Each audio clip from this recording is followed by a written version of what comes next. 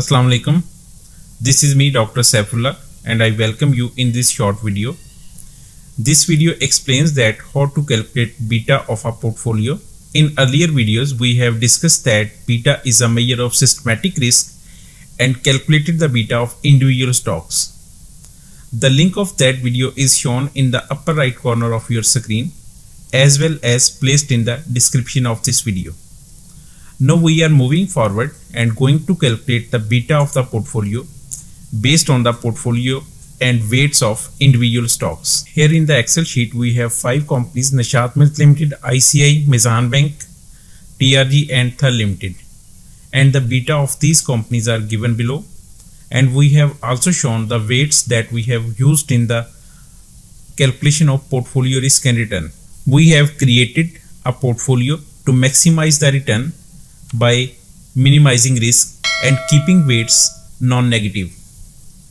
And these weights were allocated at 0%, 0%, 21%, 79% and 0% respectively.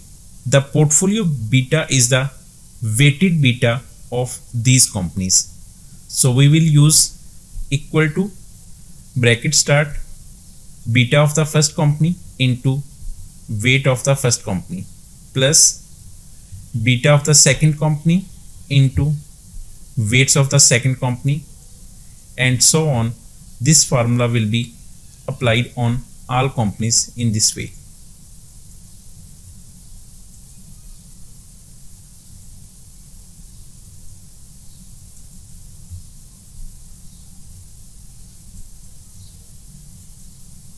So the, our portfolio beta is 1.11%. It means with the one unit change in the market, our portfolio will change by 1.11%. As it is more than one, so that means the portfolio is uh, still risky as compared to the market. That's all for the portfolio betas. If you have any questions, you can write in the comment section or contact us through the WhatsApp. I will try my best to answer your questions. Thank you. Take care. Allah Hafiz.